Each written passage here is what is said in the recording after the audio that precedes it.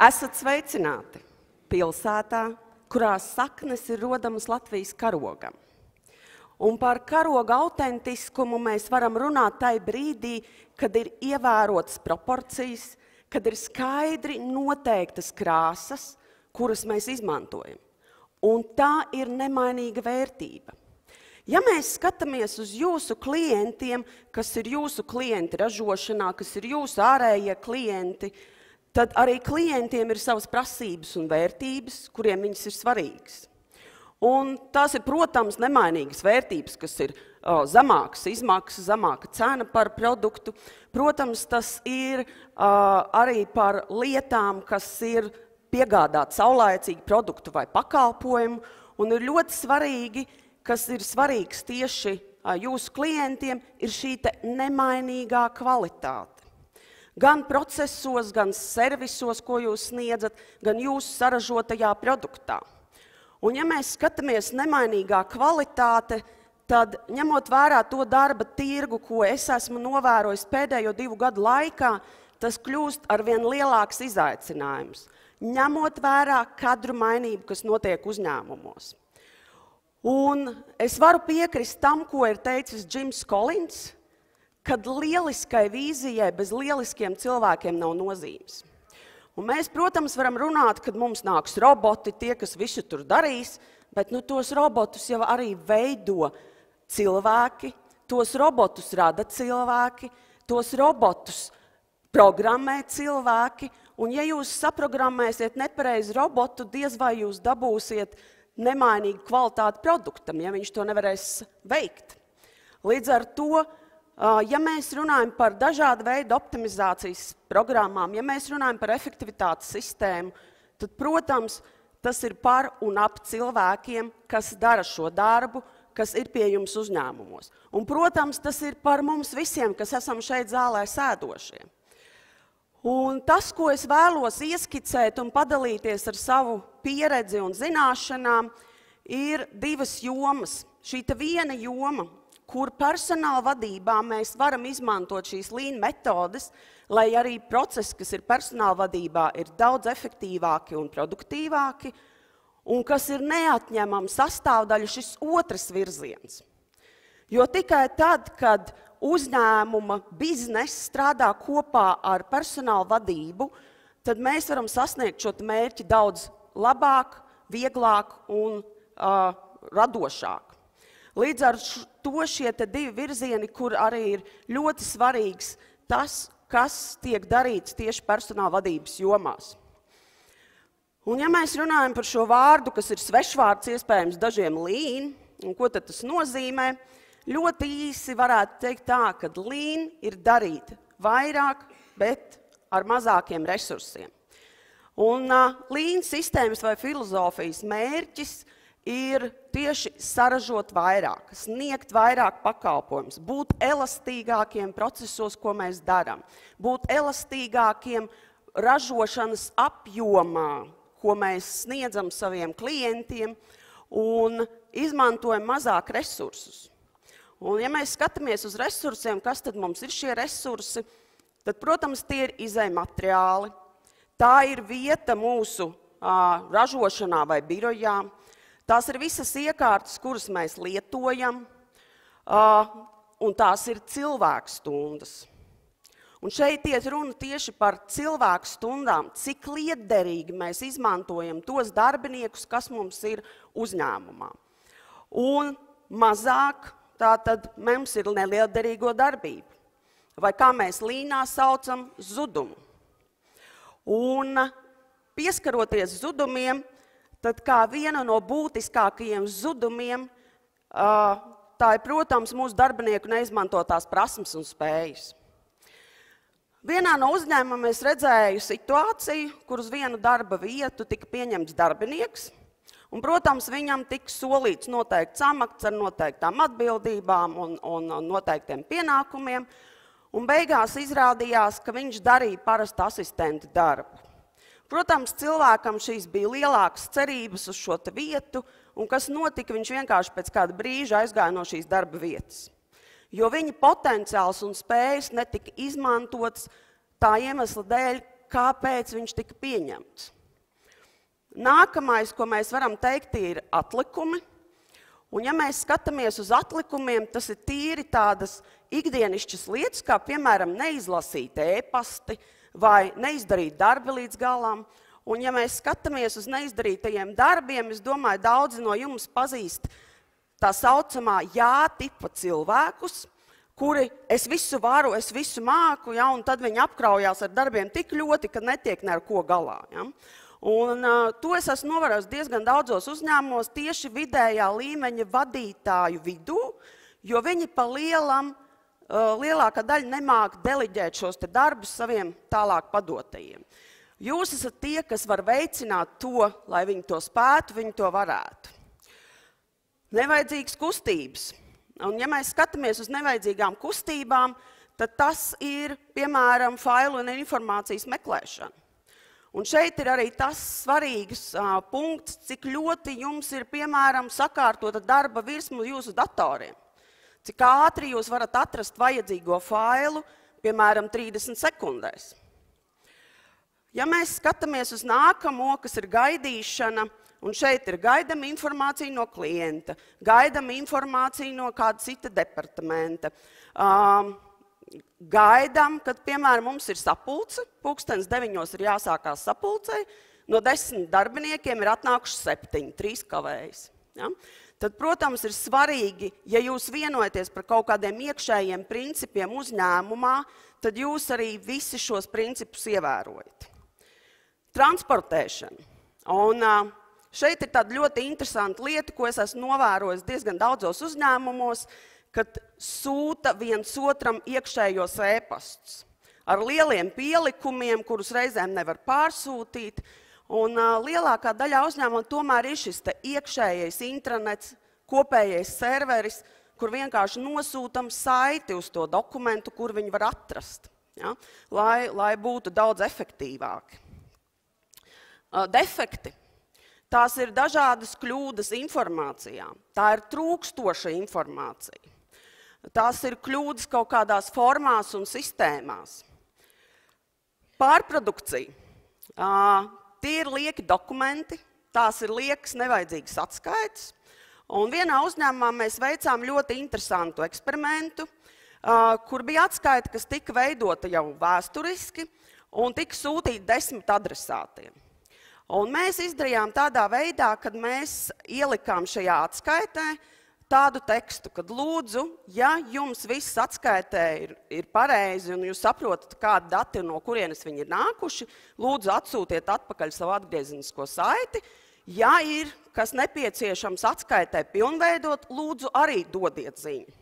Un kā jums liekas no šiem desmit adresātiem, cik adresāti sniedza savu atgriezenisko saiti? Nu, diezgan pēc viens. Viens. Un šeit ir arī ļoti svarīgi, un viņi izveidoja to, ka viņi pārskatīja pilnībā visas atskaites, kas vien viņiem uzņēmumā ir, lai saprastu, kuras ir tās, kas ir liekas. Un, diemžēl mēs atskaitēs un, un šajos ciparu sagatavošanās iz, izmantojam ļoti daudz sava liederīgā laika. Un ir pārcenšanās. Nu, mums gan ir teiciens, nu, tā jāizdara labāk, vai ne? Nu, bet, ziniet, ar to pārcenšanos arī ir tā, ka, piemēram, vienā sapulcē bija situācija, kad vadītājs lūdza atsūtīt trīs ciparus, tikai trīs rādītāju vērtības, un viņš nevar sagaidīt. Viņš sēž un nosās un atkal zvana, kur ir mani šie trīs rādītāji. Un tad pēc brīža tas cilvēks, kuram lūdza, atsūta Excel tabulu ar krāsainām, visādām formām, ar daudz un dažādiem cipariem. Ja? Lai gan vadītājs lūdza tikai trīs rādītājus. Un tā arī ir pārcenšanās. Ja? Tā tad izdarīt vairāk ar domu, nu vadītājiem gan jau man krāsaina Excel forma patiks, vai ne? Un ja mēs skatāmies uz tādu iekšējo personāla vadības procesu kā atlases process, jo kas mums ir klients atlases procesā? Tas ir vadītājs, kurš vēlas aizpildīt savu vakanci un vēlas noteiktu uh, noteikts kompetences cilvēku savā komandā. Un, protams, vadītājiem, kad gribās, lai būtu tā vakance aizpildīta vakar, vai ne? Nu, lūk, Un, protams, ir jāizskata viss šis process, jo tur mēs varam saskatīt dažādus zudumus, kas ir piemēram, nav skaidrs kompetences, kādas tad mēs īstenībā meklējam. Nav skaidrs interviju struktūras. Darbiniekam, kas kandidē vai kandidātam, liek aizpildīt veidlapu, kur ir ļoti daudz datus un īstenībā pēc tam tikai pusi no tiem izmanto. Vai intervēja uz gala interviju vairāk kā 3-4 kandidātus uz konkrēto vakants. Vai, piemēram, uztur ar potenciāliem kandidātiem šos attiecības, lai gan īstenībā šādas kvalifikācijas cilvēki mums uzņēmumā vispār nav vajadzīgi. Ja? Un, uh, vai, piemēram, intervijās ir vairāk intervētāji nekā tas ir nepieciešams. Ja, un jebkurā procesā mēs varam apskatīties no šo zudumu uh, perspektīvas, uh, respektīvi uzdot sev jautājumu, kas ir tas, ko nevajag darīt. Ja, tā tad izskaust šīs neliederīgās darbības, kus, kuras nesniedz šo vērtību klientam, kāpēc mēs to darām. Un, uh, un ja mēs skatāmies uz šiem zudumiem, uh, tad, protams, šī otrs virziens, kas ir ļoti būtisks, kur ir ļoti vajadzīga visa jūsu palīdzība, ir šīs te, uh, mides jūsu uzņēmumā radīšana. Un tas, ko arvien biežāk darbinieki uzdod jautājumu, kāpēc man tas ir jādara? Kas ir tas, kāda ir mana darba jēga? Un līdz ar to ir uh, svarīgi, ka darbiniekam tiek izskaidrots, Kāda tad ir nozīme viņa darbam, kāds ir mērķis, kāpēc viņam šis darbs ir jāveic. Un tas, kas vēl ir svarīgs tieši pie procesu efektivitātes, darbiniekam likt saprast, kas ir tās lietas, kad ja viņš šo darbu veids, kas ir nākamais posms, kas to darbu saņem. Izveidojiet spēcīgu kultūru un nodrošiniet, ka pamatvērtības tiek nodrošinātas ikvienam. Un tas ir vēl jo izaicinošāk, jo darba tirgū ir dažādas paudzes ar dažādām vērtībām.